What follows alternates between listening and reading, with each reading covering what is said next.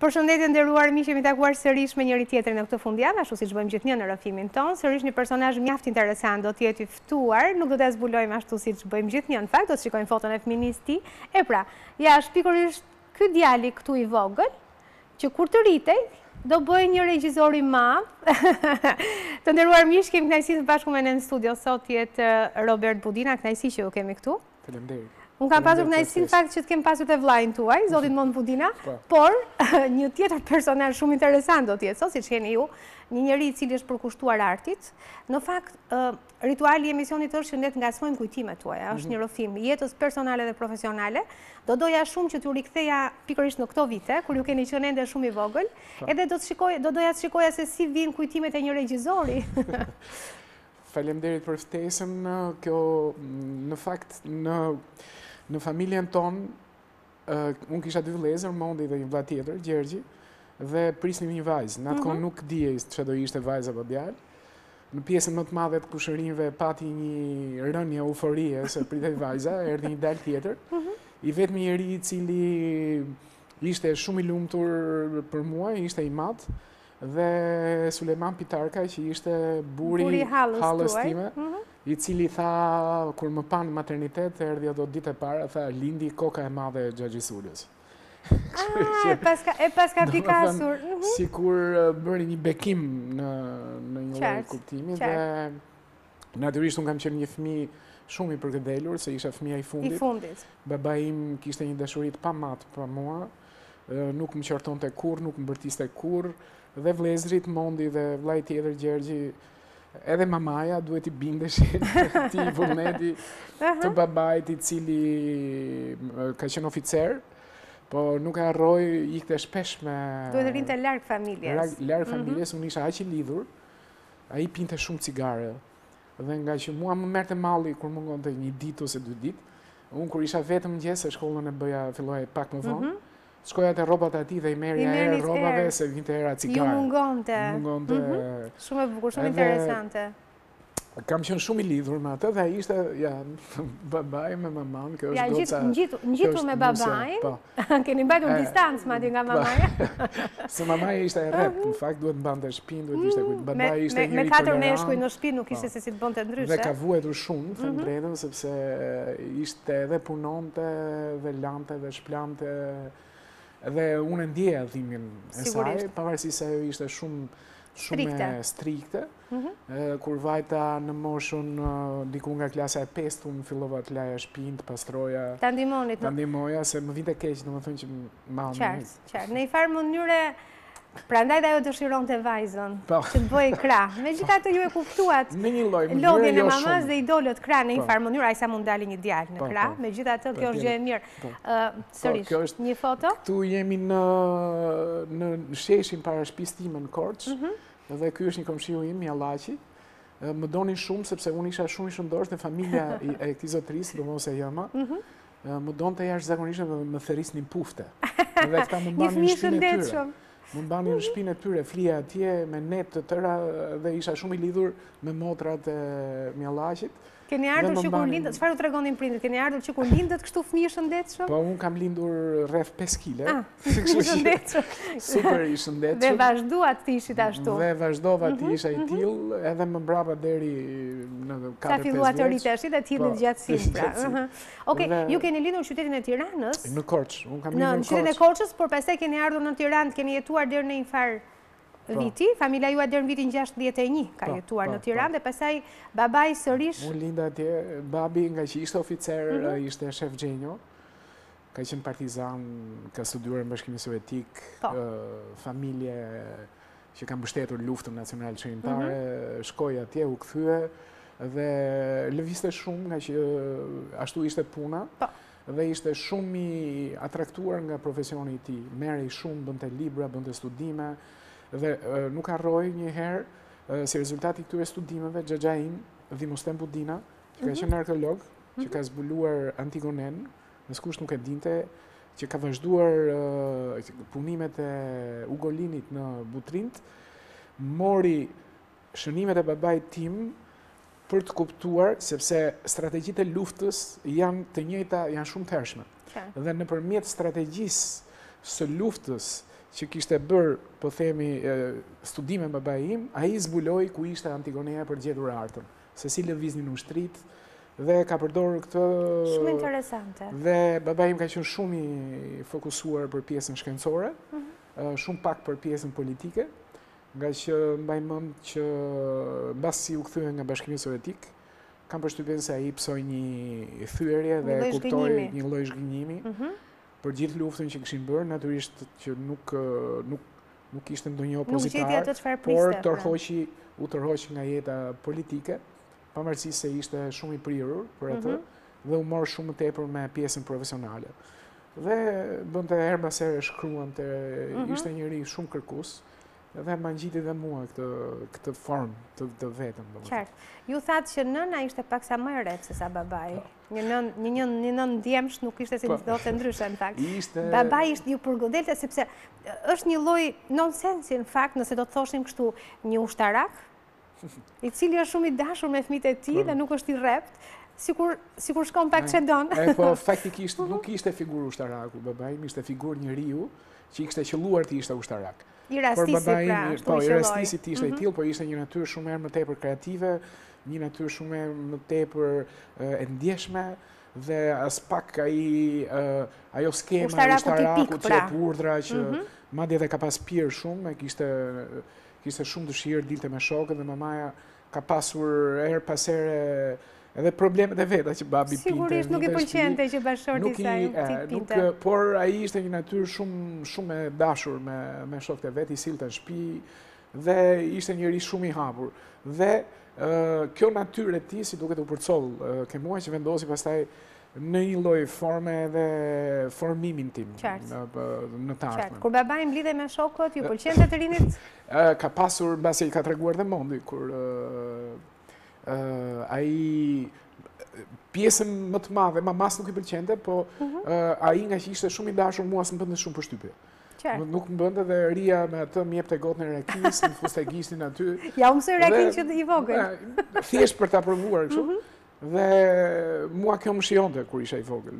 Më shijonte sepse kisha një, një afërsi të më të te skajshme.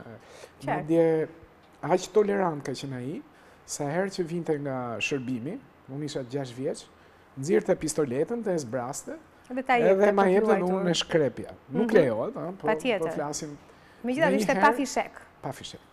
Një herë, Në muajt e verës vinte gjyshja ime nga Tirana, nëna e babait po. tim, Aleksandra.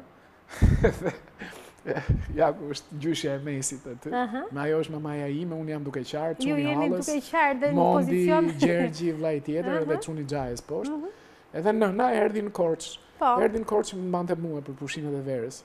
Unë gjeta ku ishte pistoleta, e nxora nga garderoba, Edhe ia drejtova nënës Shqipe, nëna Për të luajtur, do, do të vras Ky Meti lajthiti Që me nënën Dhe mori me vrap shkallët iku nëna E keni trembur nënën që kur ishit i vogël Ishte bosh, pistoleta Patjetër, patjetër Pastaj i tha ti Meti, ore, ç'bën ti si ia le E ke përkëdhelur shumë këtë djalë Po, Kështu që kjo ka qenë afërsia, madje një gjë që ka vendosur shumë, besoj unë në formimin tim, në autoritetin tim, si njeri, në këmbëngulje, ka qenë një nga faktet që nuk e harroj asnjëherë, kam qenë rreth 6 vjeç babi më merrte nëpër male, inxhinier ndërtonte bënte punime në mal, po. bënte tunele, po. bënte bunker, ka qenë mhm. një nga ata që ka bërë pjesën më të madhe të bunkerëve me urdhër të Enver Hoxhës.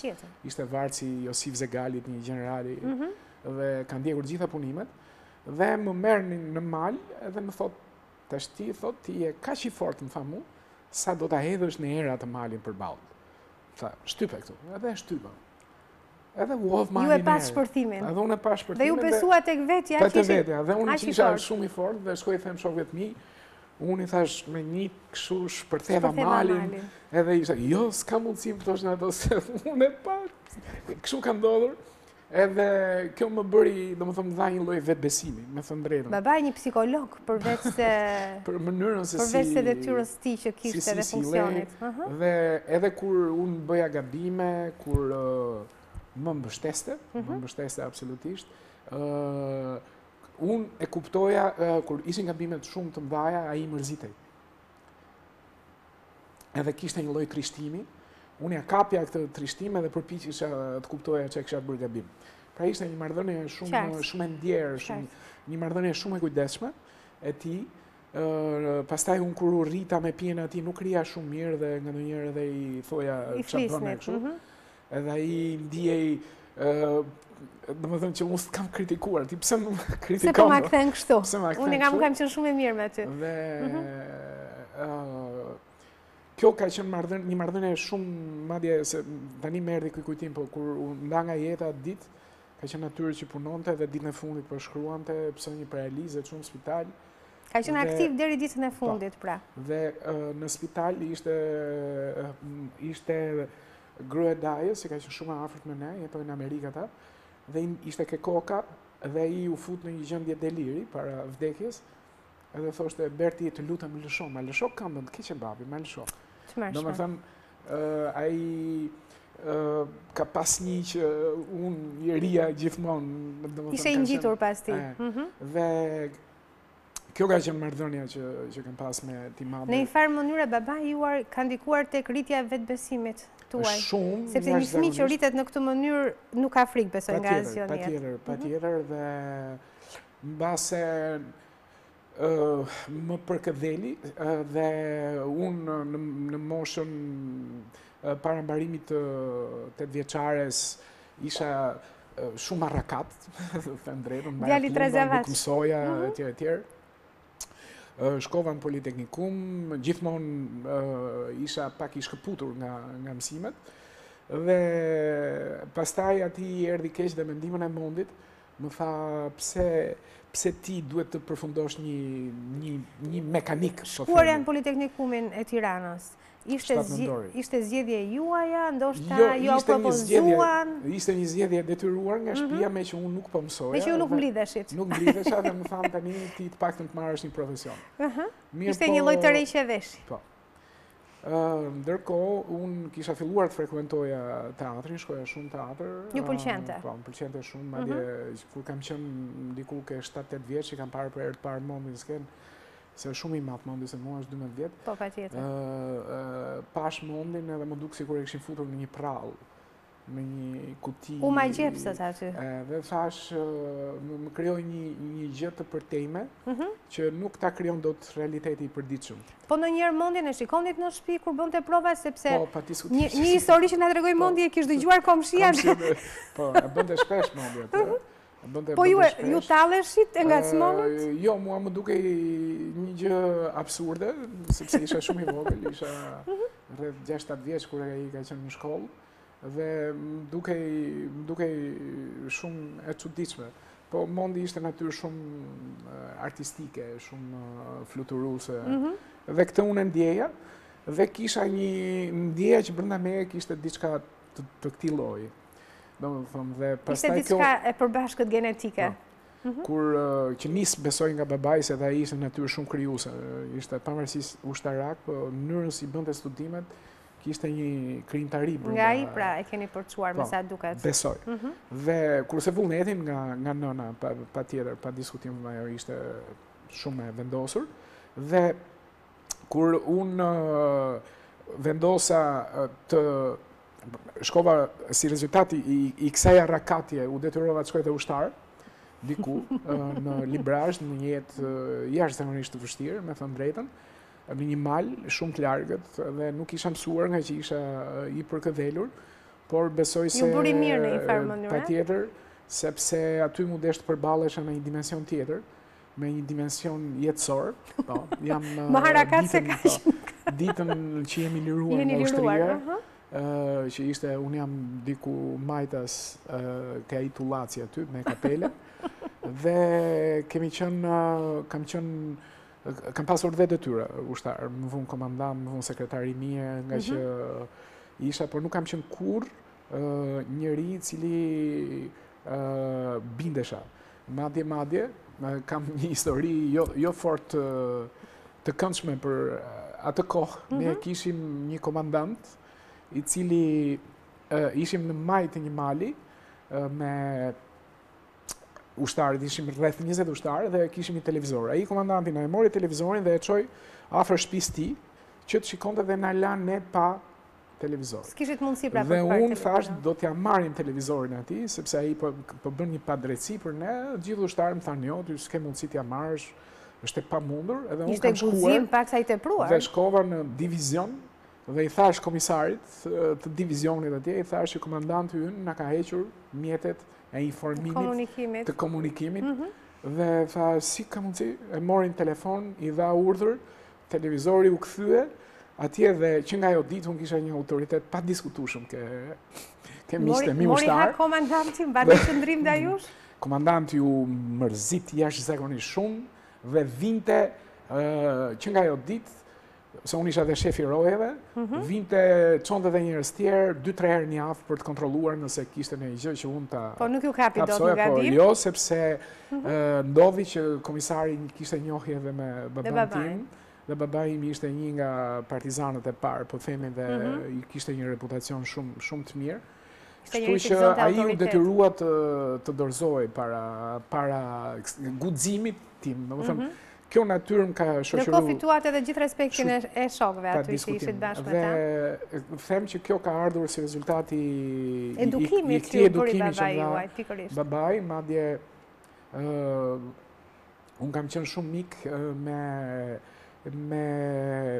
kushërinjtë e vëllezërve Popa që në vitin 86 u futën te ambasada italiane. Ishin pikërisht ata pra që e çanë në një farë mënyre rrethimin shqiptar. Po, dhe nga mhm. kushërinjtë e mi, nga njerëz shumë të afërt, për respekt nuk po i përmend, më thirrën bashkë me babain dhe më thanë që ti nuk duhet të shoqërohesh më me, me nipin e atyre, sepse Ai, ata kanë tradhtuar vendin e tyre.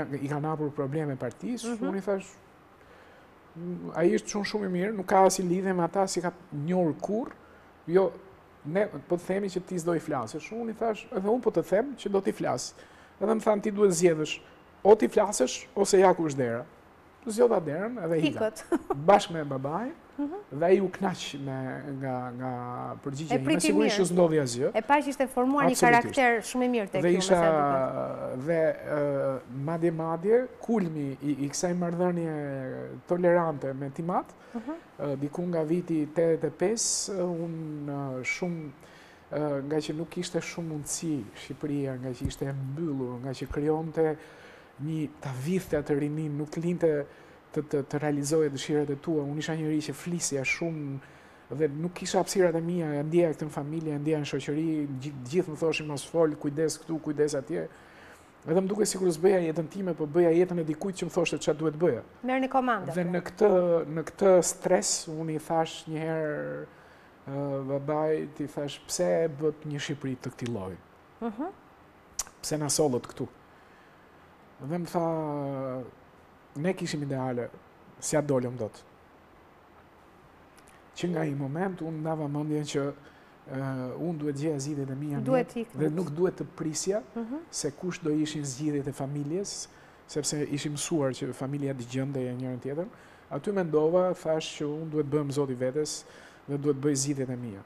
Dhe gjatë kohës që unë kam qenë ushtar, kam pasur një mikun tim, i cili kishte njerëzit e arratisur dhe prindërit e pushkatuar, mhm.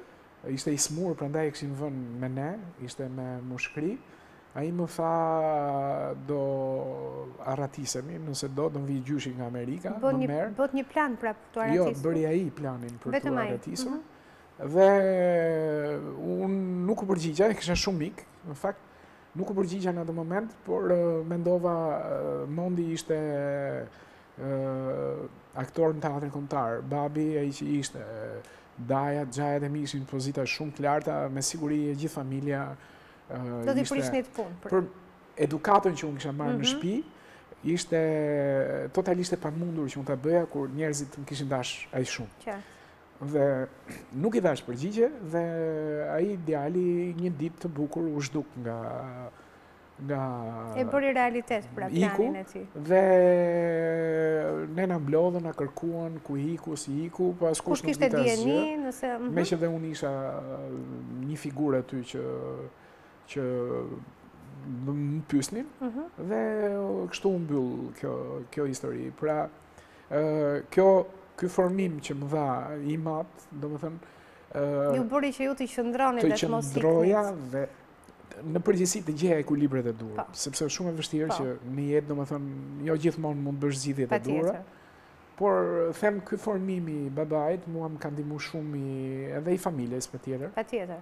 Po, babai me sa duket paska qenë fakultet më vete për ju, paska qenë një shkollë më vete. Po, Për mua po, më ndikon shumë edhe në punën që bëj, mhm. edhe sepse puna ka të bëj me njeriu, ka të bëj me pjesën e tij shpirtërore, t'i marrësh njeriut pjesën e vet më të mirë, duhet patjetër të shohësh përtej punës. I kujtoni shpesh këshillat e babait tuaj? Ju këshillonte?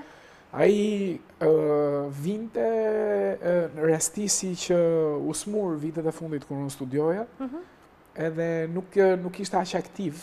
Unë do kisha dashur që të ishte më aktiv, të vinte të shikonte shfaqjet e mia.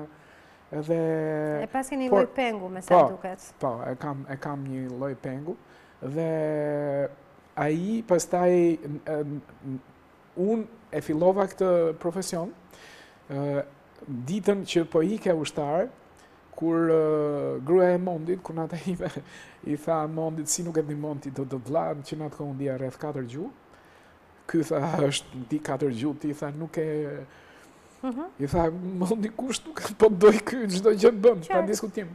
Dhe aty unë fillova të mendoj realisht, që të futesha, lexoja shumë, lexoja po. pafundësisht, si rezultati i Mondit, deri në moshën 16-17 vjeçare kam lexuar si si i çmendur. Mhm.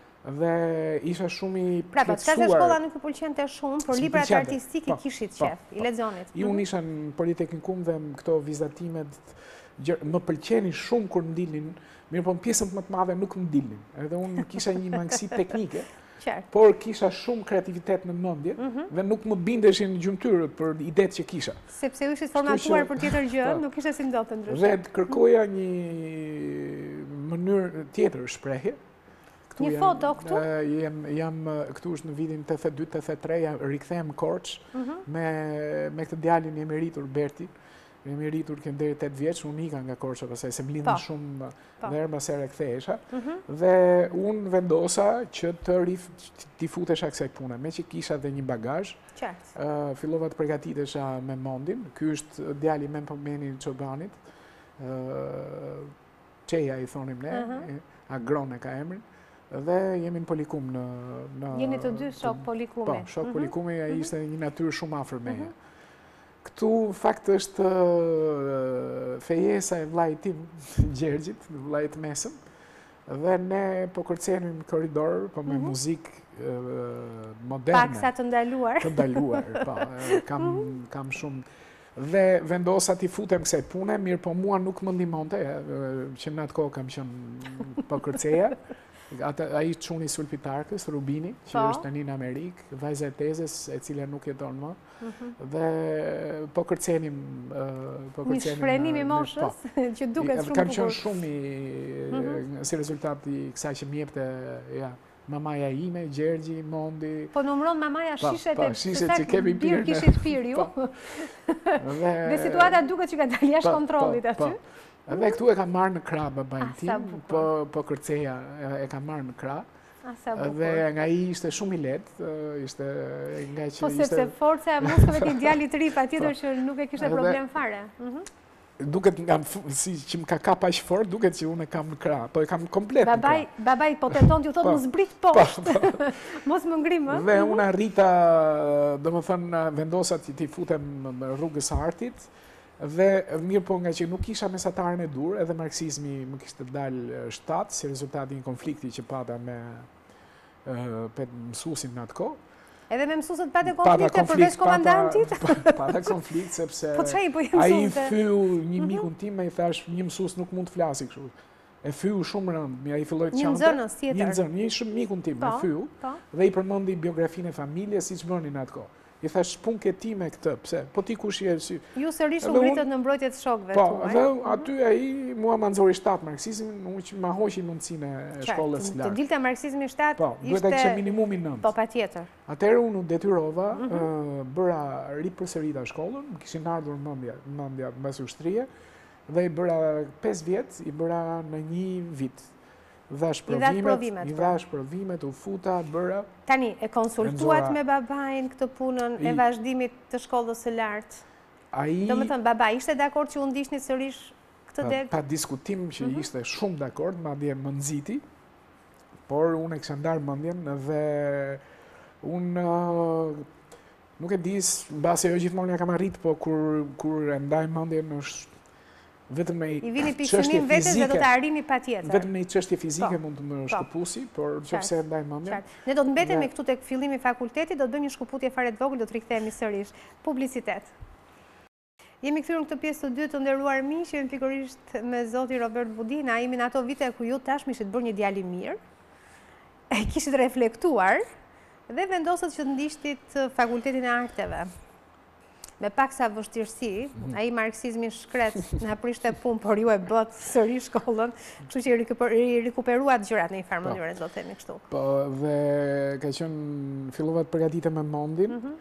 Sepse do dilnit përpara një jurie po, shumë të fortë, paçka se burri i hallës tuaj ishte a ishe ishte, Sulejman Pitarka, Mondi ishte patjetër që po, por... Por kisha një, më tha, mbaj mend, më thotë Mondi, Dëgjo, më tha mua, unë nuk do t'i them gjë atyre që janë në komision. Tani ti duhet ta dish këtë punë, po të jesh i zoti, ok, unë nuk i them mhm. njeriu, domethënë këtë, ta kesh të qartë. Unë nuk nuk më hynte shumë kjo dhe nuk e kisha nuk nuk nuk nuk e perceptoja çfarë ishte kjo që do i thoshte ky dhe këta do më ndihmonin, unë nuk dhe pothuajse s'më bëri përshtypje fare. Mhm. Mirëpo isha pak i papërgjegjshëm se gjatë kohës që bënim provat, mbaj mend që shpesh e kam nervozuar, e kam vinte për të qeshur, nga që ai merrte shumë seriozisht. Dhe një herë kur po bënim prova në shpinën e tij, më tha, "Ç'më qesh more, do të më gjuante me shapkë." Mos qesh more dhe. Ju nuk e konceptoni dot që duhej ai serioziteti i madh. Po duhet një seriozitet kaq i mhm. si përfundim, bëra një pregatitje shumë të madhe me libra dhe me atë që kishte lidhje me zanatin e regjisorit, me mhm. mënyrën e zbërthimit të dramave, të karaktereve. Këtu punova shumë. Dhimitër Pecani, një regjisor shqiptar që jeton në Francë, më ka ndihmuar për mënyrën se si duhet t'i zbërtheja. Dhe ai i tha Mondit që ka një, ka një lehtëshmëri në zbërthimin e gjërave, kështu që është i lidhur në një farë mënyre. Është i lidhur, është mhm. absolutisht. Mhm. Dhe unë, kur u futa në, në konkurs, isha shumë i, shumë i, i turpshëm. Nuk isha një natyrë siç janë artistët, që tani jam totalisht ndryshe, por në ato fillime isha njeri që më vinte zor të futesha ku kishte njerëz, skuqesha, dhe madje kur shkoj unë për të konkuruar, harroj një dokument dhe Vangjush Furxhi më thotë ti nuk futesh se ishte shumë i prerë ti nuk futesh tha shko gjeje në qoftë se ne jemi akoma këtu në qoftë se jo u dogje po në gje dhe mirë po në gje dhe u dojë dhe Enea Zheku ishte shumë mik me Mondin një djalë mhm. shumë i edhur për kohën ishte në vit të tretë në mhm. diçka e këtij lloji më thotë më Unë të thashë, dhe op, ikin dritat në shkollë. Vjen, tashi mund të ikësh, më tha, dritat do vinë kur të vish ti. Wow! Hoqi siguresat, që ata mos mënë, që ka dhe sa ta gjenin e kështu e njërën tjetrën, unë ika mora dokumentin, u riktheva, ndezën dritën dhe vazhdova isha të mos u shqetëso. Ndihma e madhe pas ka qenë Enea. Enea. Hoqi dritat e shkollës, që unë të, që të kisha mundësinë të rikthehesha. Nuk pas ka qënë vetëm Tili, kështu po, pas ka po. qenë dhe Enea. Dhe Enea. Dhe unë kthehem, bëra konkursin, në interpretim nuk isha i jashtëzakonshëm, në gjërat e tjera goxha mirë etyde që kishim ne zbërthim, platformë, mhm. pikët, me sa duket më mbrapa i kisha marrë, por nuk harroj, do dilnin, dolën përfundimet, Askush nuk e dinte se si ishin dhe unë shkoj ta lexoj dhe nuk po e gjeja emrin tim. Edhe dikush vjen më thotë uh, urime. Uh, ça urime? Thashë, unë s'jam fare këtu. Unë isha i dyti, po po e kërkoja vetëm jo, diku nga, nga fundi. E filluat listën nga fundi. E para ishte mm -hmm. Diana Ndrenika, uh, vajza e. Po. profesor Bertit. Po. Po. Dhe i dyti kisha dalë unë. Dhe kështu filloi ajo aventurë, pastaj... Po, po, po, artistët që ishin komision, i mbani mend? Po, ka qenë Fatos Haxhiraj, mhm. nuk i kujtoj tjerët të them, po Fatosin e kujtoj mirë, se ishte shumë kërkues dhe më pyeti më bëri 2-3-4 pyetje mhm. u kap me mua, unë vazhdova me atë idenë time i çova gjithë idetë që kisha deri në fund, s'e mbaj mend mhm. Konkretisht, po e mbaj mend që pata një... Një lloj fërkimi. Një lloj fërkimi për ta çuar idenë time deri në fund, se ma sulmoi dhe unë e mbrojta deri në fund. Derisa keni dalë i dyti tregon që keni qenë shumë mirë.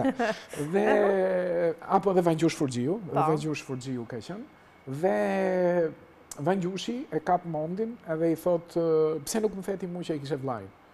se ishin shumë të afërt me njëri-tjetrin, mm -hmm. tha Mondi, në qoftë se do e meriton. Doja që ai ta merrte me forcat e tij. Dhe Vangjushi kishte një filozofi të vetën që mua më më, më rastisi shumë e saktë që për t'u bërë një artist i kompletuar ka nevojë për një uh, eksperiencë jetësore shumë uh, të mirëformuar dhe sidomos regjizorët sepse mënyrën se si do konkretizosh personazhet do i zbërthesh ke nevojë për këtë bagazh jetësor dhe nëse i shofim në fakt regjizorët e filmave dalin nga 30, 35, 40, kjo është mosha. Kur fillon të arrijnë pikërisht atë bagazhin që i duhet. Kur e kapin këtë bagazhin mhm, jetësor që mhm. duhet, sepse duhet t'i zbërthesh dhe ai e vlerësonte jashtëzakonisht këtë dhe ka qenë mbase personi më i dashur për mua në shkollë... Gjatë viteve të shkollës. Gjatë viteve të shkollës, kam pas gjithmonë fërkime me të, sepse ai nuk na jepte lëndën e mjeshtërisë së aktorit, që unë do kisha mhm. dëshirë,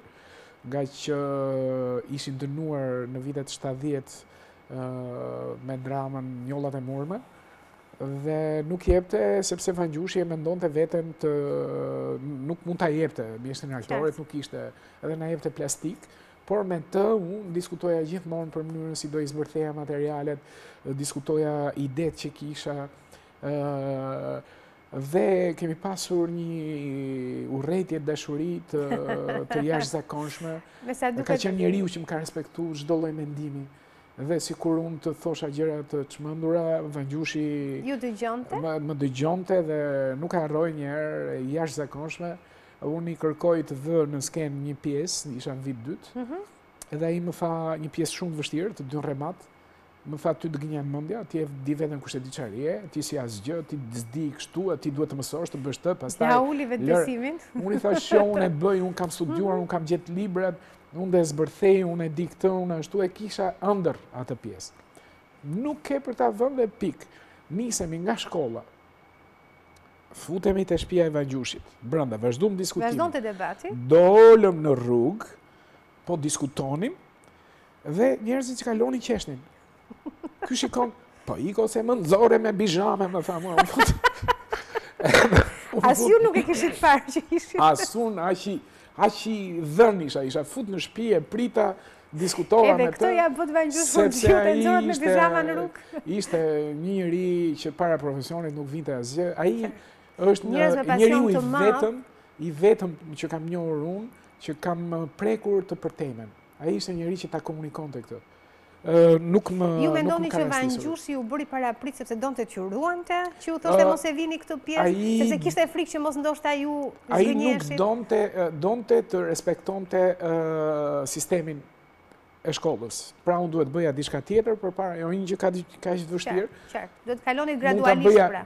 Në vit të tretë, unë isha në vit të dytë, mhm. dhe si përfundim unë nuk arrita ta bëja atë, sepse Vangjushi u mbivendos, pastaj pata një periudhë, domethënë meqë ishim në, unë fillova në vitin 88, dhe ishte fundi, grahmat e fundit mhm. të komunizmit, dhe në të gjitha pjesët e mia që vija në skenë, ishte, unë gjeja diçka për t'i thënë realitetit, për t'i folur, për t'i folur me metafora, për t'i zgjuar njerëzit, për t'i... Mhm. Dhe Vangjushi i tha Mondit, shiko tha se ai është shumë i rrezikshëm. E ka marrë pak përpjetë këtë djalë. Foli pak tha se mhm. do na futë në burg të tërëve. Unë vazhdova, mbaj mend që kam dhënë një një dosje po për Omerin të Ismail Kadares, e cila kishte të bënte me një spiun që përgjonte disa anglez dhe ishte një alegori e atij sistemi që përgjonte gjithçka. Dhe në mhm. fund ata zbulojnë që gruaja e kryetarit të bashkisë shkon me të huajt kaq. Domethënë ishte një një alegori, një grotesk i asaj situate që po dhe herë mbas here më Gjushi më thoshte pushko se këtu, po mos e thuaj këtë, mos e bëj këtë. Si përfundim e bëra atë që desha, Fragmenti doli super shkëlqyeshëm, madje madje me një me një eufori se në atë kohë kur bënim provimet ne në studio shumë vogla, ë 15-20 metra katror rrinin 200 veta, cip më cip.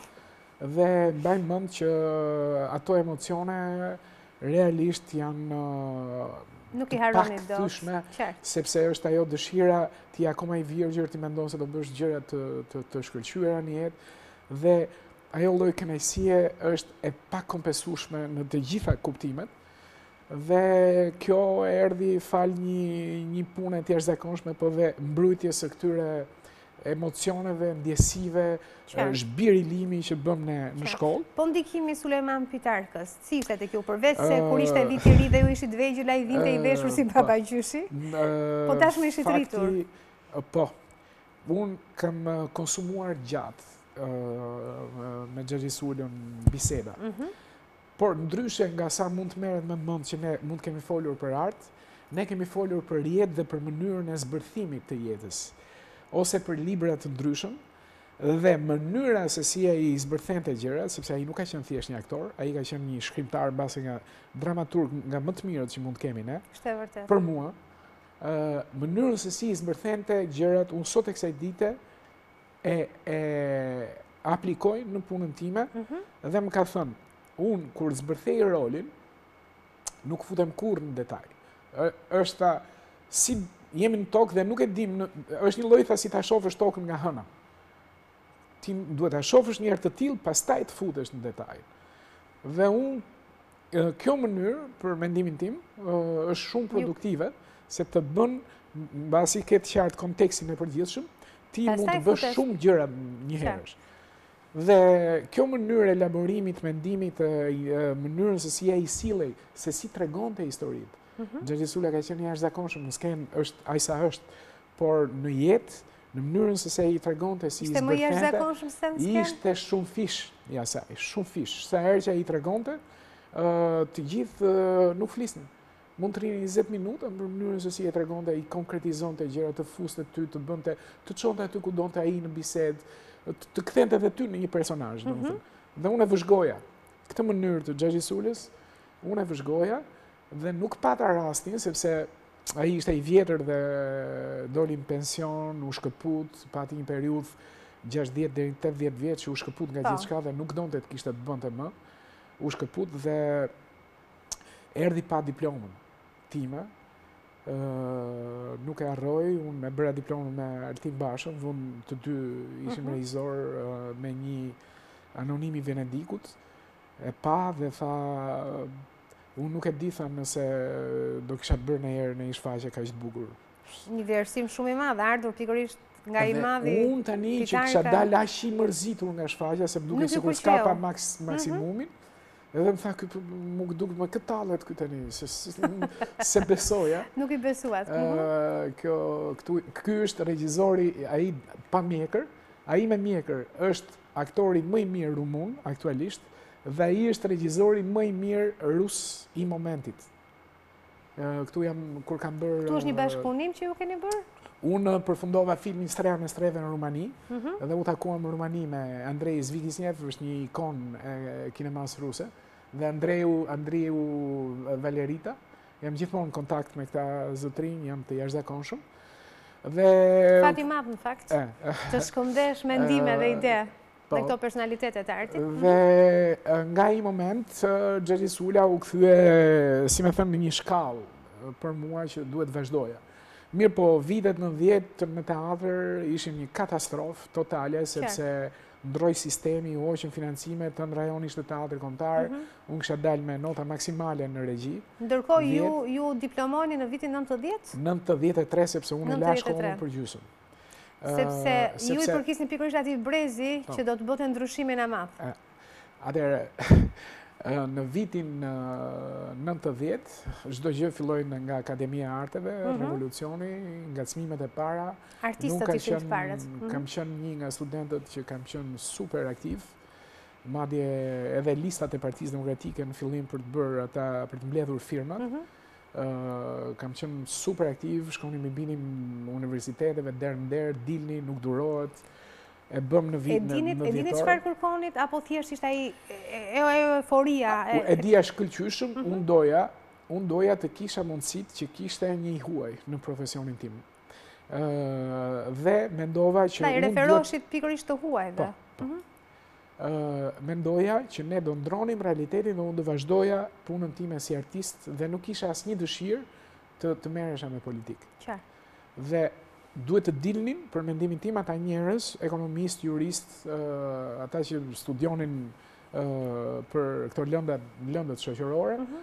Sepse për në atë formim që kisha unë, duhet të shkojë meritokraci historia. Pra, secili duhet merrte atë që meritonte. Po. Mhm. Dhe kjo ishte filozofia ime dhe unë jam ofru vullnetarisht për të ndërruar, këtë, për të ndërruar atë sistem dhe për të kthyer sistemin e vlerave.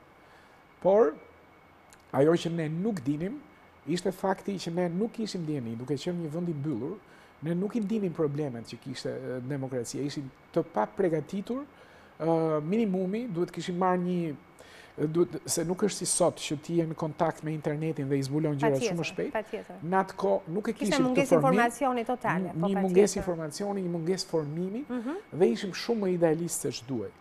Nga kjo tërheqje e jona, një pjesë po them që rreth 80% të studentëve që e filluam u tërhoqën me këtë filozofi, Nëse do kishin ndenjur në politikë mendoj se gjërat do kishin qenë shumë më ndryshe nga këto që janë sot.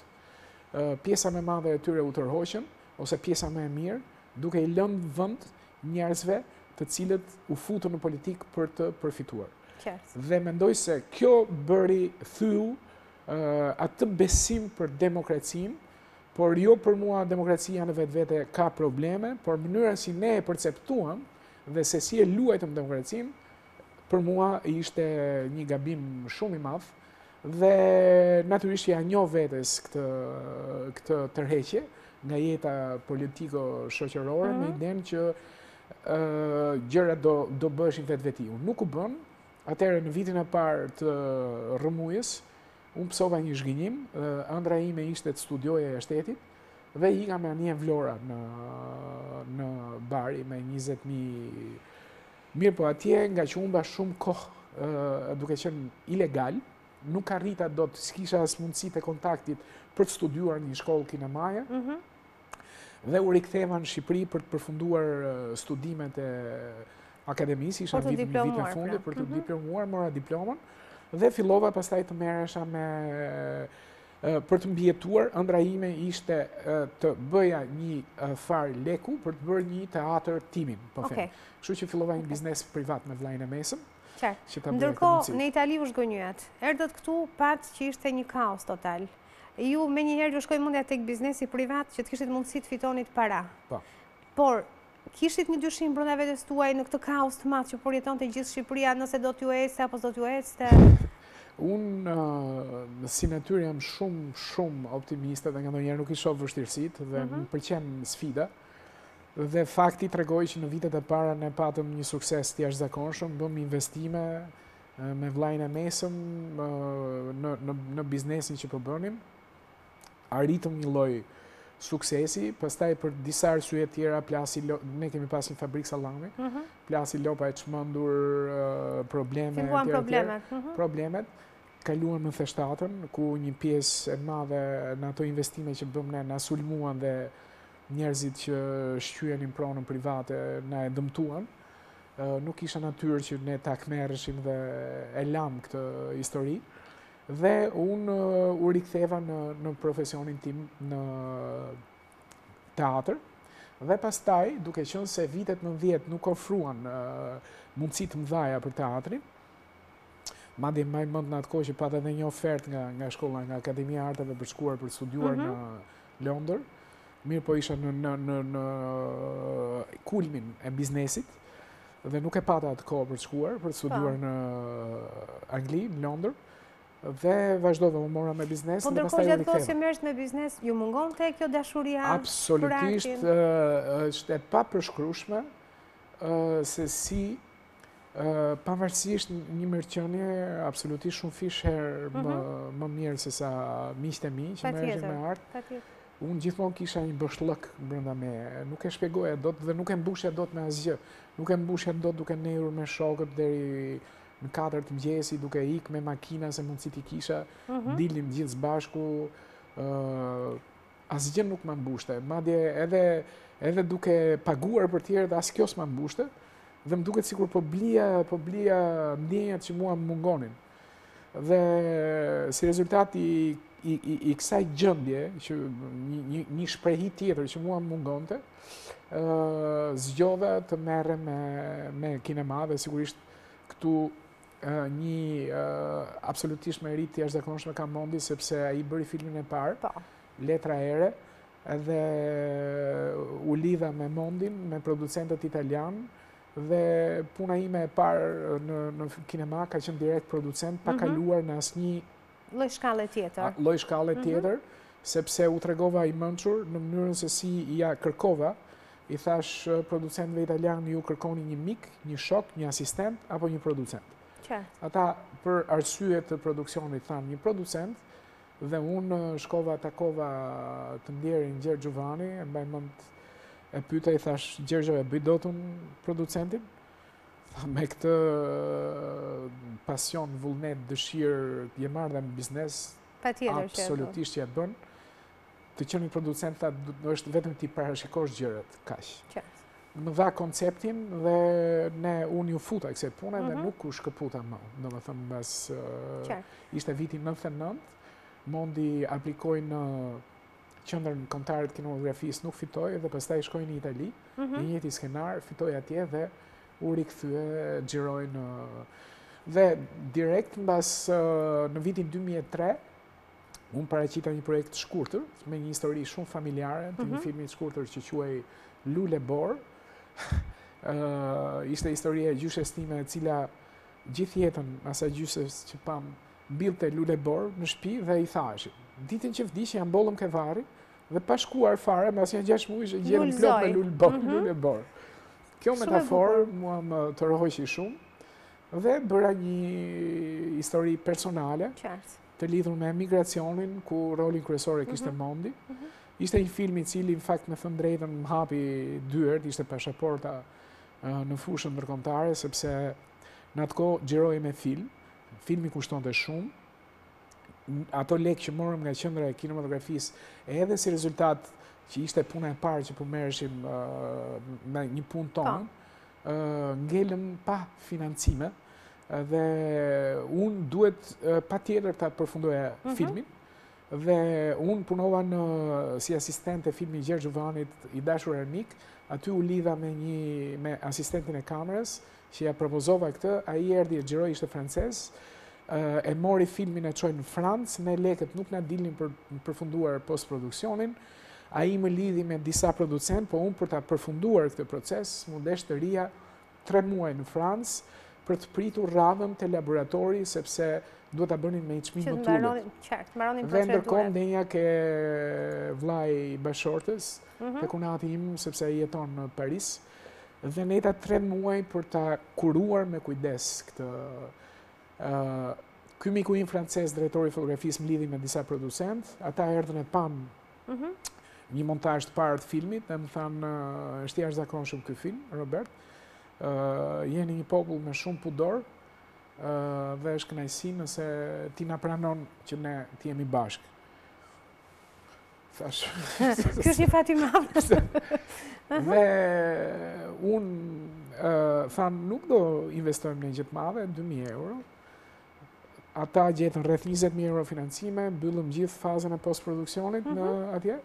Filmi shëtiti mbi 100 festivale, u shit te France Treshi, dhe qarkulloi një javë nëpër kinema. Është nga rastet e rralla, po, kur filmat e shkurtër dalin në kinema, mhm. dhe mbas këtij momenti, ata më thonë mua, në momentin që po mbaronim montazhin, edhe kishin gjetur financimet, më thanë, tani ne duam të bëjmë së bashku një film të gjatë.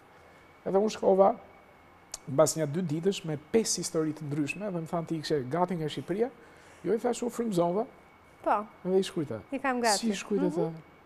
Të pesë histori? Po. Zgjodhën një tjetër. Produktivitet i madh. Po, zgjodhën një tjetër, por unë zgjodha atë historinë, atë të posterit Agon, filmi po. Agon, dhe së bashku me ata producentë ndenjtëm rreth dy vjet duke punuar skenarin, duke për filmin tim të parë mhm. të gjatë, ata producentë francezë mua më lidhën me një producent rumun i cili fitoi Palmën e Artë në atë vit në Kanë, mhm. i cili sa lexoi skenarin u u entuziazmua dhe tha dua ky është filmi Agon është me titullin po, grek që xhirohet i po. gjithi në Selanik, ka të bëjë me integrimin, me emigracionin dhe historia ishte tronditëse, shumë e egër, shumë e dhunshme, mhm. por shumë e vërtetë. Dhe producentët francezë, ngaqë merreshin me filmin e shkurtër, këtu jemi në Bifest, në Bari, mhm. është një teatër i jashtëzakonshëm rreth 5.000 vende, Verdi, është ku ka dhënë Petruzzelli dhe Verdi jepte të gjithë koncertet në këtë sallë dhe ata m'u afruan producentët francezë, mirëpo nuk arritën të gjenin financimet në Francë dhe unë vazhdova me producentin rumun. Ata ngelën, mhm. ndërkohë që producenti rumun pati një dashuri të skajshme për filmin, Nuk arriti të gjente financime nga shteti, por gjeti financime private për të bërë mhm. postproduksionin në për ta bërë postproduksionin në Bukuresht. Dhe unë shkova e përfundova aty dhe që prej asaj, asaj dite, unë me atë Dan Burlak jam pothuajse si vëlla, kanë kaluar shumë vite. Nuk ndaheni pra nga njëri-tjetri. Duket sikur këto bashkëpunimet me të huajt, ju me sa duket vetëm bashkëpunimet me të huajt, po. ka një lloj mungese dashamirësie nga shqiptarët për të bërë jo. gjërat bukura, apo... Jo, nuk besoj që është e tillë. Ka një filozofi, kinemaja europiane është e orientuar drejt ruajtjes së vlerës së kulturës dhe drejt eksperimentit. Mhm. Kinemaja amerikane është një kinema e zbavitjes, një kinema e publikut dhe bëhet me investime private. Janë dy filozofi krejtësisht të ndryshme. Për t'i rezistuar valës dhe pushtimit amerikan në kulturë, Europa vendosi që për të ruajtur eksperimentin dhe për të ruajtur kulturën, t'i jepte mundësi me financime publike regjizorëve për të thënë ide të cilat nuk mund t'i realizosh dot me kinemanë komerciale.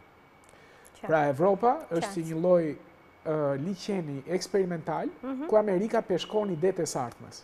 Qartë. Ky është thelbi dhe Shqipria, tani për të se dua të dal nga Europa ke Shqipëria për të kuptuar që nuk ka një një gjë që do ta ndalojnë në Shqipëri, mhm. sepse ne tashmë kemi hyrë në, në sistemin europian të, po. të bashkëpunimeve.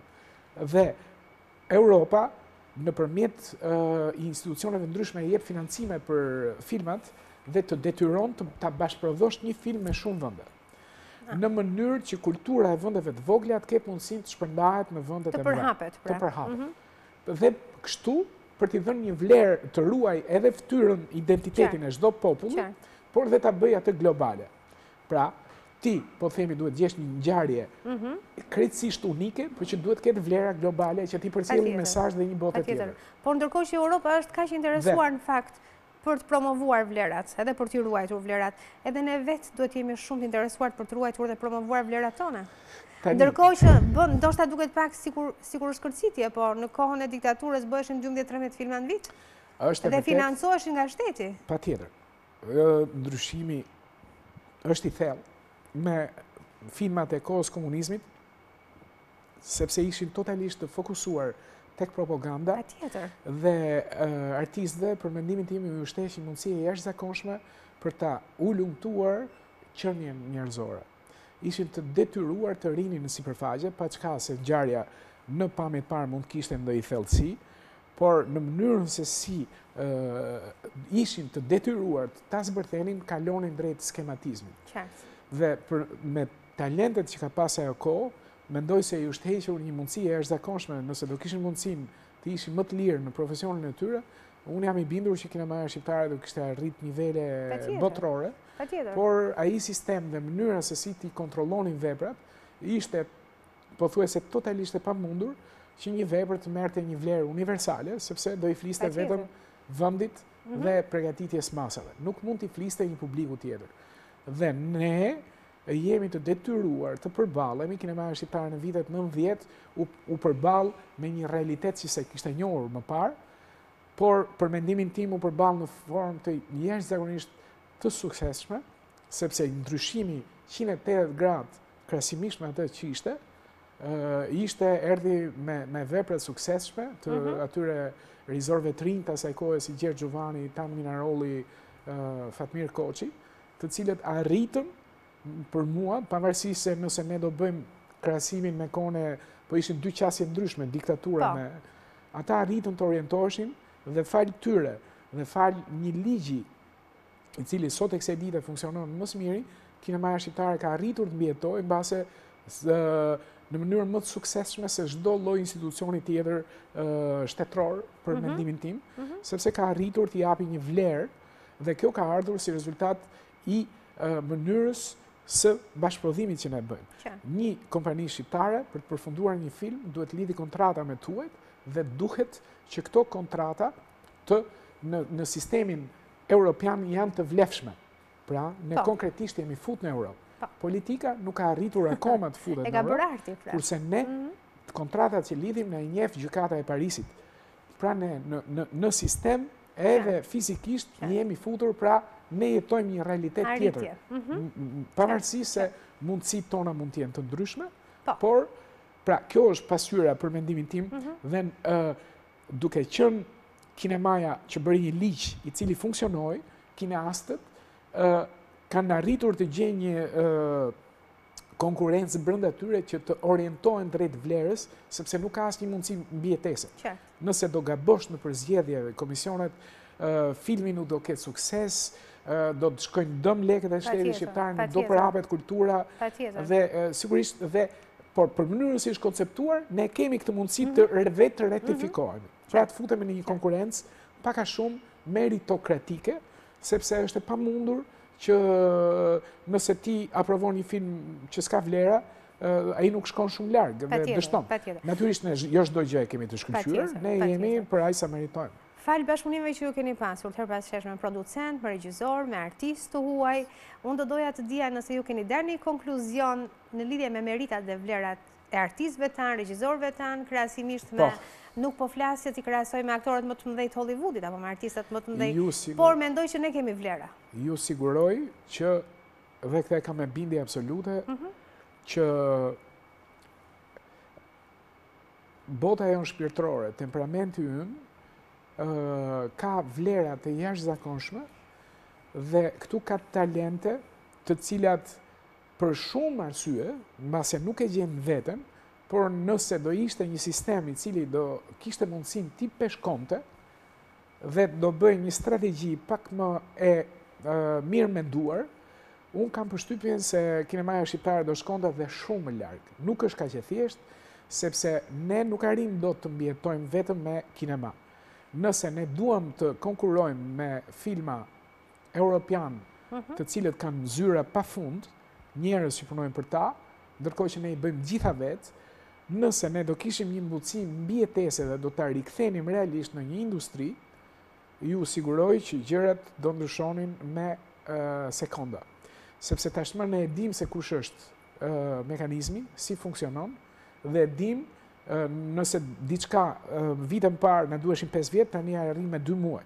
Dhe kjo është një eksperiencë që nuk ta fal njeri, dhe sigurisht ne duam t'ia lëmë njerëzve dhe t'i japim mundësinë atyre, krijuesve të rinj, të cilët mendojnë dhe besojnë tek vetja që kanë potenciale të mëdhaja.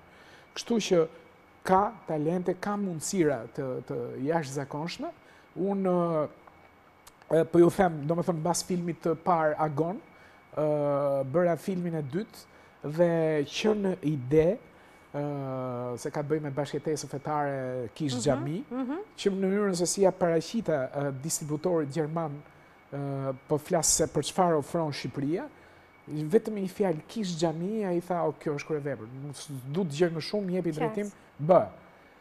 Bëra një sinopsis, ia dërgova, tha nëse ju arrini ta përfundoni këtë film, ky film do shfaqet në Gjermani. Dhe është java e 15 që flasim, filmi vazhdon shfaqet në kinemat gjermane, mhm. që në muajin shtator, që vazhdon qarkullon në kinemat gjermane, filloi me 100, tani është në 3-4 kinema mhm. në Gjermani, ka bërë një goxha uh, spektatorë, ka bërë të flasin kritikë të cilët nuk kishin shkruajt kurrë për kinemanë shqiptare, mhm. ka hapur dyert e kinemave që nuk është futur kurrë filmi autor në Gjermani, pra e kanë pranuar, dhe ka marrë një feedback të jashtëzakonshëm nga kritika gjermane, po dhe në festivalet falje dhe në shumë e madhe, kjo? Po, mendoj se është hera e parë që ne arrijmë e konceptojmë kinemanë si një industri, mhm. pra në fund të ditës filmat duhet të dalin në kinema. Patjetër që festivalet janë shumë të rëndësishme, dhe festivalet bëhen që ti të kesh mundësi të dalësh në kinema. Po duke qenë se distributori ynë në Gjermani, i cili është gjermanolindor, ka është i dyti më i fuqishëm i filmit autor mhm. në Gjermani, po ai i pari është gjermanoperëndimor, ky është gjermanolindor, ai ishte e mori si sfidë sepse ne kemi qenë në Berlin në 30 filmat e fundit që ngelën për seleksionim dhe u hoqëm në teçen e fundit dhe ai e kapi si sfidë personale për t'i thënë atyre seleksionuesve të festivalit që filmat që unë zgjedh vlejnë. Dhe normalisht Filma që ai ka shpërndarë dhe kanë qenë në Festivalin e Kanës nuk kanë bërë më shumë se tre-katër mijë spektatorë, ndërkohë që filmi ynë i është i afruar pesëdhjetë mijëshit të publikut gjerman që po e ndjek atje. Shifra që s'kanë krahasim fare. Dhe pra? që mhm.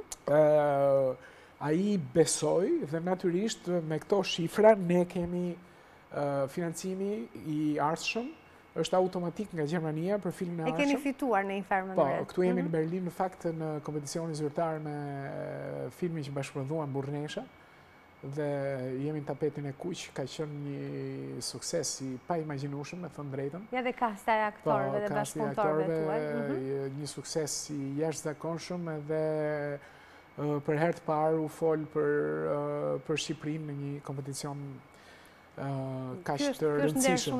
Kjo është nder shumë i madh. Dhe ne arritëm, arritëm gradualisht t'i formonim edhe ndjesitë dhe mënyrën e të bërit strategji për punën e filmit, falë dhe këtyre eksperiencave, mhm. dhe në këtë, në filmin Streha mes Reve, pastaj që ishte filmi im i dytë, pata një fat të jashtëzakonshëm të punoj me Arben Bajraktaraj, po. ju e njihni. Po, Këtu jemi në festi premiera botërore në festivalin e Talinit në Estoni. Mhm. Është një nga festivalet nga 14 festivalet më të mëdhenj të botës dhe një në ndër 8 më të mëdhenjtë në Europë. Festivalet maten që ne përfaqësohemi. Mhm. Festivalet maten me me prezencën e kritikëve të huaj, po. edhe me pjesëmarrjen e po. njerëzve. Mhm. dhe aty gazetarët mbulojnë një zonë prej rreth 1.1 miliard njerëz në gjithë botën. Mbulimi mediatik i po, atij po. festivali shkon në 1.1 miliard njerëz dhe filmi u shfaq në 12 për shtypin dhe në orën 4 dolën 8 artikuj përfshirë dhe Screen Daily-n nga mhm. më të mëdhenjtë që folën me superlativa Dhe ne na erdhën distributorë nga Izraeli, nga Japonia, direkt mas për të marrë informacion për filmin. Mhm. Dhe pati një impakt të jashtëzakonshëm. Tashmë dyert e suksesit janë të hapura. Po, dhe, dhe natyrisht, ai festival pastaj na hapi dyert dhe shumë festivale të tjera, ne kemi shëtitur, nuk e mbaj mend mbi 30, por Kemi fituar në Amerikë, kemi fituar në Azi, kemi fituar në Afrikë. Tani nuk para mbani mend më se ku keni fituar, ai po, shumë janë bërë. Sepse kemi qenë në katër kontinente dhe në pjesën më të madhe, mhm. unë kam qenë, i kam shkuar, por në disa nuk kam arritur shkoj. Nuk jeni përfaqësuar ju vetë. Nuk kam mhm. shkuar sepse më përfshiu teatri dhe nuk doja ta lija këtë Një tjetër dashuri që do flasim pak edhe për atë. I kam refuzuar disa festivale, madje edhe mbas mhm. një jave duhet t'iki në Gjermani, në një festival tjetër, sërish. Dhe ajo që është shumë e rëndësishme, mënyra se si u shpërnda filmi në Gjermani në shtator, unë erdha dy javë atje dhe kam shëtitur 30 qytete me distributorin gjerman, dhe bënim 3 qytete në ditë, bënim rreth 1.000 kilometra, mbas filmit unë bëja biseda me publikun, të jashtëzakonshme sepse ti e zbulon filmin edhe lokalisht, ndryshe e percepton Dresden, ndryshe Berlini, ndryshe Mynihu. Patjetër. Kam takuar shumë shqiptarë, shumë të emocionuar, të etur që të kenë, të jenë të përfaqësuar me kulturë, Dhe me një energji pozitive të jashtëzakonshme, kanë thirrur njerëz të tjerë, gjithmonë salla ka qenë mbi 70% e mbushur, mhm. falë edhe shqiptarëve punës së tyre, këmbënguljes së tyre, dashurisë së tyre, kanë shkruar në në në inbox vetë, kanë ardhur, kanë takuar në zyrë se unë rrija ke zyra e distribucionit gjerman dhe kanë bërë një një punë të jashtëzakonshme dhe ju nuk e imagjinoni dot sa shumë potenciale ka Shqipëria nëse arrin t'i vërë në funksionim dhe kultura është gjëja e parë sepse të gjithë ndihen të përfaqësuar dhe të gjithë ofrohen që të bëjnë maksimumin për ty dhe mbase është arma e vetme kultura dhe trashëgimia të cilat mund t'i japin një shans vendit për t'u integruar në Bashkimin Europian. Dhe kjo ju emocionon dhe ju motivon më tepër.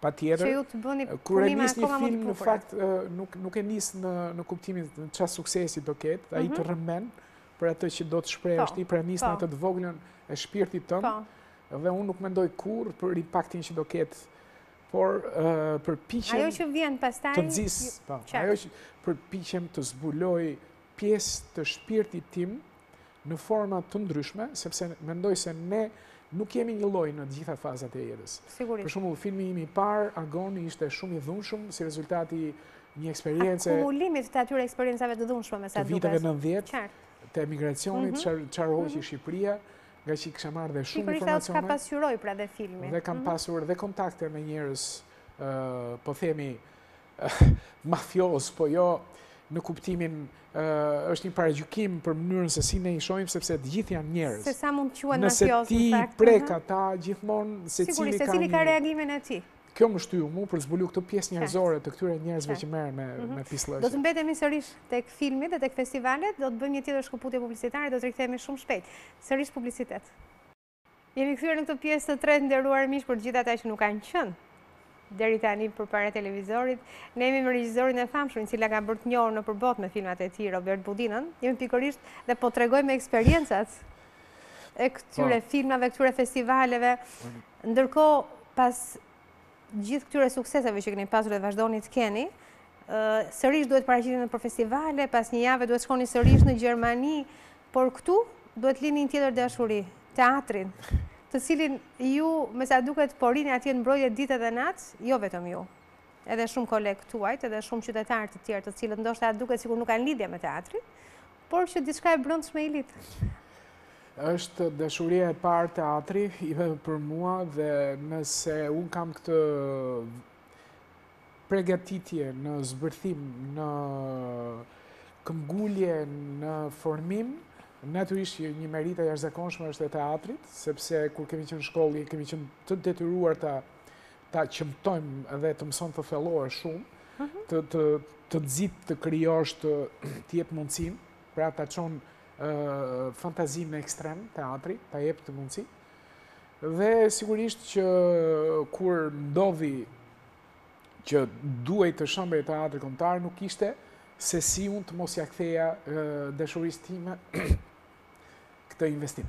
Atë çka ju kishte dhënë? Pra? Dhe u puqën disa gjëra, sepse mendoj që ne e lamë demokracinë përgjysmë, ne u tërhoqëm në vitet nëntëdhjetë dhe lamë njerëzit që s'duhet të merreshin, të merreshin me, me politikë, që e çuan në një drejtim tjetër, Kështu që mendoj që ishte teatri, duke qenë se përfshinte gjërat më të rëndësishme të cilat mhm. Shqipëria po jeton, kishte nevojë për investimin tonë dhe unë jam i mendimit që nëse ne jemi këtu ku jemi si Shqipëri, është sepse njerëzit më të mençur të kësaj shoqërie, intelektualët, të cilët nga vetë fjala e tyre janë të parët që duhet të japin perspektivat e vëndit, nuk e kanë bërë, kështu që unë doja t'ia ktheja vëndit tim këtë investim dhe dashurisë time e cila ma kishte dhënë. Natyrisht, unë vetëm një, një shfaqje kam bërë në teatrin kombëtar, nuk është lidhje fizike më shumë se sa lidhje shpirtërore. Dhe tjetra, arsyeja e dytë është që luftuan që para 20 vjetësh ikonat më të mëdha të, të kinemas edhe të teatrit shqiptar për ta mbrojtur atëherë kur Zoti kryeministër ishte ministër kulture që tentoi ta shembte për herë të parë, nuk e arriti, tentoi të ndryshonte ligjin, nuk e arriti sërish, u bë kryetar bashkie, tentoi ta shembte, nuk e arriti sërish, dhe tani u bë kryeministër, mendoi se i kishte të gjitha në dorë, dhe arriti deri në atë pikë sa të çonte në parlament një ligj i cili tjetërson totalisht demokracinë shqiptare, shkel kushtetutën dhe u akumuluan shumë gjëra dhe nuk ishte se si të mos reagoje për teatrin, sepse për mendimin tim, teatri i përmbledh të gjitha. Mhm. Përmbledh vuajtjen e artistëve, se këta po përmendin që s'kemi lek, duam të ndihmojmë artistët, t'i marrim lekët privatit me PPP, domethënë nga 10.000 metra po themi që ka ajo, teatrit i ngelen vetëm 1.000, 9.000 i shkojnë privatit, dhe ky privati na jep 30 milion euro, ndërkohë që ti i ke dhënë qendrën e Tiranës, mhm. i ke dhënë një pasuri të përjetshme, mhm. Dhe nën justifikimin që artistët nuk munden. Dhe duke votuar një ligj antikushtetus. A mundemi të sqarojmë diçka ndoshta për njerëzit që janë po. pasqaruar. Teatri do të mbeten 1.000 metra, ku artistët do të performojnë në kushte të shkëlqyera. Dhe do të kenë mundësi të shpërfaqin atë çka ata duan të shpërfaqin. Çfarë ju intereson juve se çfarë do bëhet pjesa tjetër? Rëndësishme është pjesa tjetër përfaqëson korrupsionin e shoqërisë shqiptare. Pjesa tjetër përfaqëson shkeljen e Kushtetutës shqiptare. Pjesa tjetër përfaqëson shkeljen e MSA-së, që janë që ka firmosur Shqipëria. Pjesa tjetër përfaqëson shëmbjen e trashëgimnisë të teatrit kombëtar. Dhe se çfarë është trashëgimnia, këtë le t'ia lëmë profesionistëve siç është Europa Nostra, e cila nëpërmjet presidentit ka çuar dy letra kryeministrit shqiptar ku i bën të qartë. Pra kemi pasur një reagim edhe te Europa Nostra. Pa diskutim, pa diskutim. dhe se çfarë nuk po i futemi kësaj se është shumë e gjatë, pra është një teatri i përmblidhte të gjitha dhe nuk kishte se si ne të mos rrinim aty. Ndaj dhe unë u investova edhe në kuptimin intelektual dhe fizik dhe konkret. Tani, historia është shumë e gjatë, sepse prej një viti, prej dy vjetësh, në 8 shkurt, mbushim dy vjetë që protestojmë. Që rrini aty, qëndroni aty. Dhe ju kish shkuar ndonjëherë në mend që do përlesheshit dhe me forcat e policisë, ndonëse artist dhe regjisor. Po, Më kishte shkuar, tani më shkon edhe shumë më keq në mend që ata mund edhe të na godasin. Absolutisht nuk e vë në dyshim fare, por lufta jonë nuk është me dhunë, lufta jonë është me art, edhe po, po, po, po e them në mënyrë të përmbledhur, mhm. dy vjet që protestojmë për ta mbrojtur godinën e Teatrit Kombëtar sepse aty kanë lindur gjithë institucionet e kulturës shqiptare, ka një memorie të vetën. Aty madje është bërë dhe kampionati i parë i boksit, aty është bërë dhe gjyqi i parë shqiptar ku vranë intelektualët e parë të, të kësaj Shqipërie dhe ne duhet t'i ruajmë gjërat jo thjesht për gjërat pozitive të tyre, por sepse ato përfaqësojnë një histori, mhm. pra na përfaqësojnë ne për atë që jemi. Mhm. Dhe prej 24 korrikut, kur ata donin ta boshatisnin teatrin kombëtar, ne na erdhën lajmet dhe që prej 17 korrikut ne filluam ta ruanim 24 orë 24, ndodhi përplasja me policinë, u zmbrapsën 14 orë, 3 orë përleshje të të dendura, 14 orë rrethim dhe në fund u detyruan të largoheshin sepse çështja u ndërkombëtarizua. Çështja mbërriti në ambasadën italiane, mbërriti në ambasadën amerikane, folën mediat më të mëdha në botë dhe kryeministri u tërhoq, u detyrua të tërhiqej. Pamje jo të bukura në fakt. Këta, që mbas asaj dite, ne menduam që ta rijetëzonim teatrin kombëtar. Mhm. Pra bëmë festivalin për mbrojtjen e teatrit dhe që nga data 27 korrik deri tani që flasim së bashku, janë bërë më shumë se 50 shfaqje, edhe sot është një shfaqje në teatrin kombëtar, i cili me një shfaqje, me një mbrëmje poetike, mhm. dhe kjo ishte arma e cila i dha teatrit kombëtar, sepse kanë ardhur nëpër shfaqje, kanë ardhur nga Kosova, nga Shqipëria, Kosova, Italia, Gjermania, Franca, Austria, mhm. Amerika, Portugalia do vijë, Spanja do vijë, Kroacia do vijë, Shfaqje tjera italiane do vijnë, suedeze do mhm. vijnë, dhe kjo ishte që i dha teatrit kombëtar nuk e la më thjesht një trashëgimi të kulturës shqiptare, po e bëri një trashëgimi të Europës. Në dhe kjo ishte arma më e fortë që Europa Nostra e shpalli në 14, listën e 14 monumenteve më të rrezikuara në, dhe do shpallet në listën përfundimtare në mars mhm. në 7 monumentet më të rrezikuara të Europës. Në dijeninë tuaj, Vlerë ka unike. raste të ngjashme që mund të kenë ndodhur nëpër botë? Që të shembet? Po. Jo. nuk- Asnjë rast. Jo, jo, po flasim për Europën. Europa Nostra që në vitin 2013 ka, sh- ka hapur programin e 7 vendodhjeve më të rrezikuara. Çdo vit identifikojnë ato monumente që rrezikojnë të shemben si rezultat i një politike të mbrapsht në Europë. dhe i marrin përsipër t'i mbrojnë nëpërmjet Bankës Europiane të Investimit, po. atë alibinë që kryeministri nxjerr që s'kemi lekë ia rrëzon Banka Europiane se investojnë mhm. ata, ia rrëzon Creative mhm. Europe se investojnë ata. Dhe në 29 raste që nga viti 2013 deri më sot, zoti Herman Parzinger, presidenti ekzekutiv i Europa Nostrës, i shkruajti një letër para disa ditësh kryeministrit, presidentit dhe kryetarit të bashkisë dhe i thotë që nëse Do të shembet, ky do të ishte rasti i parë në Iran që do të ndodhte me ato monumente që Europa Nostra i merr nën mbrojtje. Pra, do të ketë një kosto të jashtëzakonshme. Nëse kjo godinë është e amortizuar? Nuk ka lidhje godina sepse godina do restaurohet nga e para. Ah. Restaurim, pra, ju jeni dakord me restaurimin? Po sigurisht, sigurisht patjetër për t'u rikthyer në origjinë siç ka qenë dikur. Siç ka qenë dikur. Pra. Siç ka qenë dikur. Mhm. Dhe në në këtë moment që janë hequr gjithë alibitë, ata nuk kanë më asnjë mundësi se çfarë të nxjerrin, sepse na nxorën ca artistë që gjasme ishin të gatshëm dhe firmosën për shembje, po. ndërkohë që ne kemi nxjerrë pesëfishin e atyre artistëve mhm. vendas dhe nja një mijë artistë të tjerë. Pikërisht, kjo ishte pyetja që doja t'ju çmimin Nobel që bëja. Ndoshta ka dhe shumë artistë, regjisorë, aktorë të cilët nuk dalin aty, për një arsye apo për tjetër. Ata ju përkrahin, janë me ju? Ka një gjë fantastike, fakt te teatri, që askush nuk detyrohet asgjë. Kush vjen, vjen. Po. Dhe megjithatë për një mijë e një arsye ka njerëz që nuk janë po, mirë. Kanë ardhur, kanë mhm. ardhur, na kanë thënë, na kanë folur, na mbështesin, pa diskutim, por ne nuk i vëmë në dukje ata atyre që nuk vijnë asgjë. Në fund të ditës, ky është një investim I joni që do t'i ngelet demokracisë dhe nuk ka për t'i ngelur X-it apo Y-it. Mhm. Sigurisht që ne do përpiqemi të krijojmë një model që mos falimentojë si deri më sot kanë falimentuar. Është një luftë shumë e gjatë, ndaj dhe lufta jonë është fizike, intelektuale dhe po ju kujtoj që kemi bërë dy demostrata me 3.000 deri në 5.000 pjesëmarrës. Kemi kthyer ligjin në parlament, ishim të parët ne që bëmë një interpretim juridik me specialistët që janë dhe aktivistë, protestues, mm -hmm. e kthyem ligjin, detyruam opozitën të reagonte, e detyruam edhe gjetëm bashkëpunim me mbështetësit e saj për të ardhur, pa u bërë kryefjalë, që të na mbështeste, kemi hartuar gjithë dosjen, pashaportën e Teatrit Kombëtar si historik për të aplikuar te Europa Nostra. Kemi shkruajtur Parlamentit Europian, e kemi detyruar Parlamentin Europian të reagojë në qoftë se mbani mend korrik të vitit 2018 i bënë 18 pyetje qeverisë shqiptare, mhm. nisur nga letra që ne i shkruajtëm atyre dhe opozita i shkruajti atyre.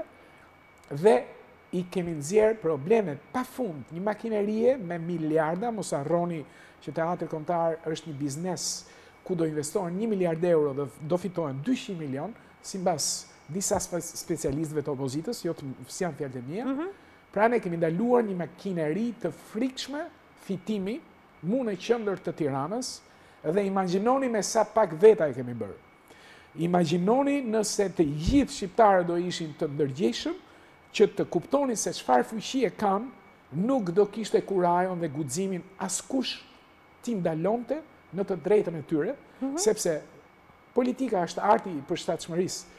Nëse shoqëria prodhon moral, politika do jetë e detyruar ta reflektojë atë.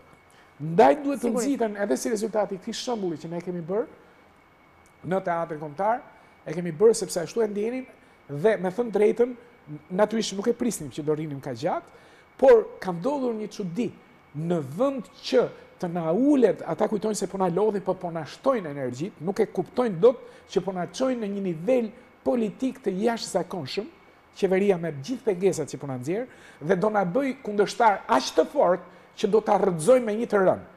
Domethënë, ata kujtojnë se po ecin përpara, po në fakt po na forcojnë pafundësisht.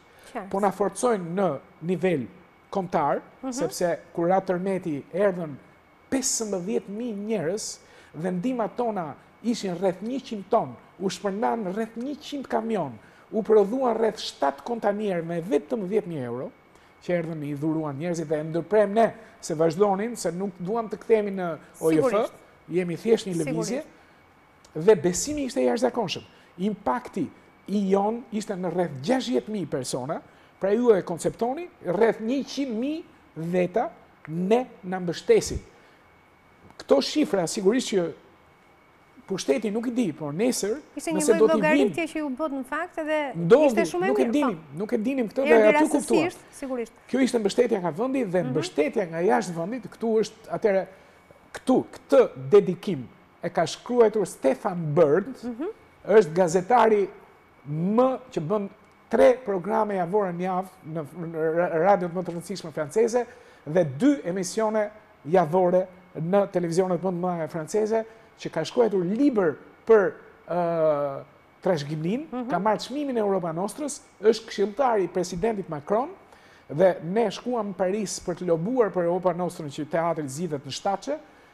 Ai po shiste këtë libër dhe unë i thash, kemi ardhur këtu, kisha vetëm kishim vetëm 2 orë kohë për të lobuar. Kemi ardhur këtu i thash sepse kemi një kryeministër që do të na shembi teatrin kombëtar. Tha më fal, ju e keni shkrimtar. I thash, duro. Dhe me Sesila Plasarin që folëm, i sqaruam se mhm. sa shkrimtar është kryeministri jonë, dhe ai bëri një dedikim. Tha, së bashku do ta mbrojmë teatrin kombëtar, është një pasuri europiane, Është urgjente. E ka shkrujt në dedikimin, ky është zotria, po, Stefan Bërn, po. Sesila Plasari, Lida Miraj, është anëtare e këshillit të Europa Nostrës, zonja, mhm. një nga specialistet më të mira që kemi ne të trashëgimisë, e cila ka lobuar shumë fort në atje, dhe në këtë mbrëmje, ne takuam autoritetet më të mëdhaja të Europa Nostrës, përfshirë dhe presidentin. Të cilët ju dhanë përkrahjen e tyre?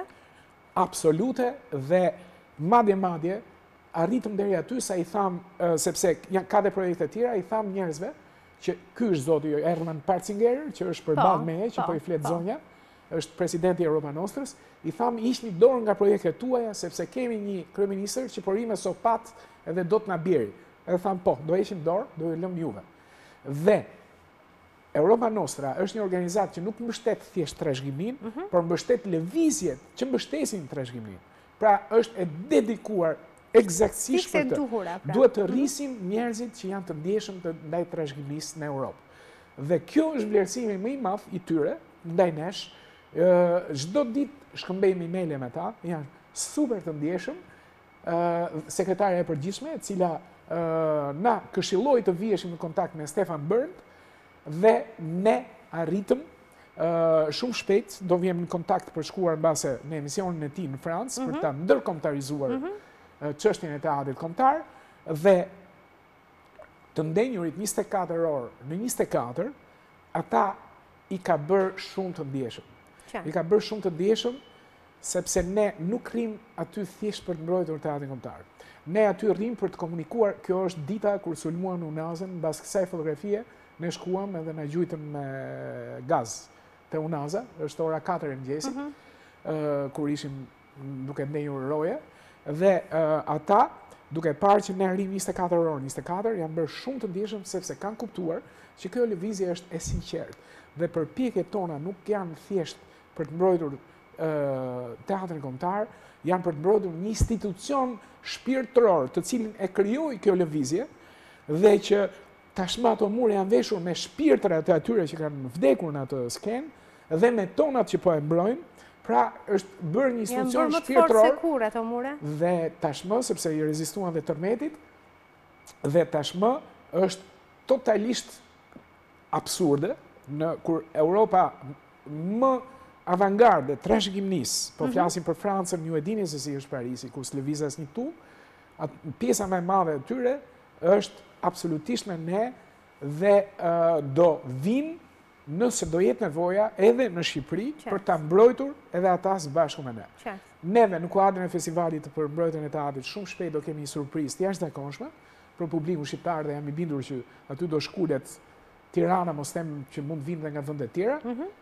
për të kuptuar se sa sensibël është kjo çështje dhe personalitetet mbase më të mëdha të Europa Nostrës do jenë të detyruara të zbarkojnë në Tiranë nëse me çmendurinë e tyre këta njerëz do vazhdojnë të ecin përpara. Por gjithsesi, në momentin që kjo histori ka shkuar në gjykatën kushtetuese dhe ajo e ka marrë në shqyrtim, ne duhet të presim gjykatën kushtetuese, duhet të bëhet kuorumi i nevojshëm për të vendosur mbi atë, nuk kam përshtypjen se do ndodhi, me 5 anëtarë mund të vendoset, për fatin janë 4. Megjithatë duket se do kohë. Do kohën e vet, por është i ngrirë mhm. procesi, po. ndërkohë që ne bashkia po çon përpara procedurat ka shpallur fituesin dhe nuk ka bërë asnjë gjë transparente. Mhm. Dhe ne e çuam në SPAK dosjen e kryetarit të bashkisë, ne i kërkuam informacion, komisioneri u shpreh para disa ditësh, ku i thotë që ka shkelur disa ligje.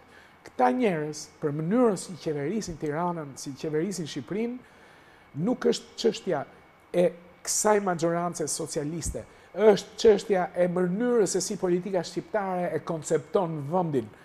Pra nuk është kundër tyre, nuk është plaçkë lufte vëndi yt që ti meqë ke marrë votat tani t'u tek dhe bën kokën e kryeministrit monument në një pallat. Nuk ndodhin këto.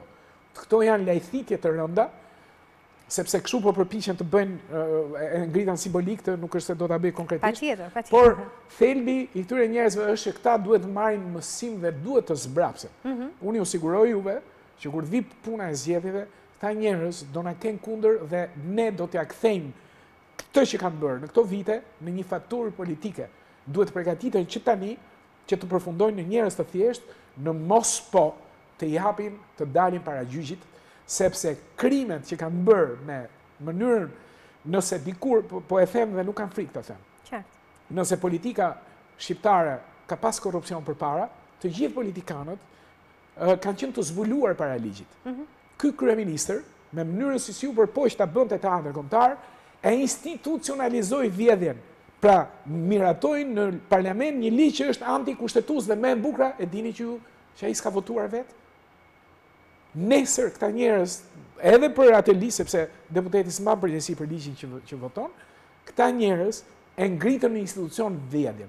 Nëse përpara është vjedhur... Edhe kjo është pak absurde, që deputeti nuk mban përgjegjësi për atë që ka miraton? Kjo është absurdi më i madh. Politikanët e mëparshëm kanë vjedhur, po janë të mhm. zbuluar para mhm. sistemit drejtësisë, ky kryeministër u fsheh me ligj, pra na çoi në diktaturë. Është super e rëndë, dhe këta njerëz, po jua them që mendojnë se kanë votat e njerëzve, por faktikisht nuk i kanë.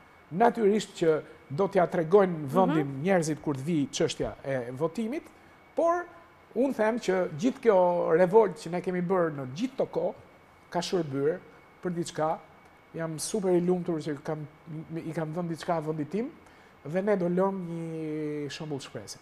Dhe po vazhdoni, në fakt, ta bëni. Megjithatë përveç këtij angazhimi, i cili kërkon kohë, përkushtim, jeni pothuajse gjatë gjithë kohës aty, nuk mund të lini dot mënjanë edhe angazhimet tuaja profesionale. Ndërkohë, besoj do të kemi tjera gjëra? Unë po përgatis filmin tim të ardhshëm, mm. i cili është në fazën e zhvillimit, dhe jam mhm. duke bashkëpunuar me një specialist francez për të shkruar skenarin, script doctor quhet, dhe së shpejti do bëjmë një aplikim në Creative Europe për të marrë financime nga Europa. Kemi bashkëproducent nga Gjermania, Holanda, Nga Gjermania kemi dhe distributorin i cili shpërndau filmin e mëparshëm. Mhm. Kemi sigurinë e marrjes financimeve nga Gjermania për filmin. Dhe unë, pavarësisht se e kaloj pjesën më të madhe në teatër, ka një gjë të mirë arti që dhe kur je aty ti mendon po. për atë që do të bësh dhe pastaj gjen një kohë dhe e shkruan, por nga ndonjëherë Unë kam bërë dhe kam filluar të vë dhe shfaqje teatri të improvizuara aty për ta mbajtur gjallë festivalin e teatrit, bëmë një shfaqje për Krishtlindjet. Mhm. Do bëjmë një shfaqje në datën 3 me poezitë e rilindasve, shumica e tyre të panjohura për me rastin e 100 vjetorit parlamentit shqiptar dhe krijimit të Tiranës kryeqytet dhe ju do shikoni nëpërmjet atyre poezive se si për ne po jetojmë realitetin e para 100 vjetëve dhe pjesëmarrës në këtë shfaqe do kemi një surprizë të një personaliteti diplomati të huaj i cili do luajë në rolin e aktorit sepse ka përkthyer Migjenin, Kadaren në shqip, në anglisht dhe ai do performojë në anglisht në skenën e Teatrit Kombëtar së bashku me ne për t'i thënë këtyre zotërinjve që kemi në pushtet që diplomatët, pavarësisht se kanë edhe një rol aktiv në Shqipëri, kanë filluar me prezencën e tyre ta tregojnë hapur mbështetjen për Teatrin Kombëtar. Dhe do ishte vërtet një surprizë shumë e bukur. nuk do japë intervista, por prezenca e tij në skenë është më se e qartë. Është shumë domethënëse. Dhe po mhm. përgatisim mbase një shfaqe për gjyqin e parë, për gjyqin e deputetëve, në 47. Që është bërë pikërisht në këtë godinë. është bërë në kinema 17 Nëntori. Ah, është bërë kinema 17 Nëntori. Dhe po. sigurisht ajo është po, një po. shfaqe shumë e komplikuar, mhm. kërkon një investim të jashtëzakonshëm. Nuk e di, e keni çuar ndonjëherë nëpër mend që këtë historinë shqiptare të teatrit kombëtar ta bëni film dikur? është një dhimbje e përditshme, sepse unë jetoj përditë me atë mhm. dëshirë, nuk do doja kurrsesi të bëja një film dokumentar i cili të ngrinte vlerat e mëdhaja që kemi ne, por do doja që të ishte një dokumentar që tregonte zemrën e problemit, dhe zemra e problemit nuk është thjesht ky kryeministër që kemi, por është mënyra si si ne i konceptojmë gjërat, që kemi pjellë kryeministra të tillë. Pra, Brenda vetes, edhe brenda lëvizjes, edhe brenda mënyrës si konceptojmë, ne kemi shumë probleme që lidhen me mentalitetin dhe nga koha nga ku ne vijmë. Pra po luftojmë me gjithçka. Këtë do doja unë të bëja, sepse kështu mendoj se i shërbej vendit dhe jo thjesht duke ngritur një lëvizje, që në fund të ditës ngelet si një lëvizje tjetër, por që ajo duhet të lërë një mesaj. Patjetër. Kështu mendoj. Robert Budina, të falenderoj shumë që pranove të vije në studio, është kënaqësi. Kënaqësia ime. Të nderuar miq kemi mbërritur kështu në fund të emisionit edhe për sot. Ju falenderoj të gjithëve që qëndruat me ne. Ju uroj të gjithëve një javë të këndshme. Do të ritakohemi sërish fundjavën tjetër.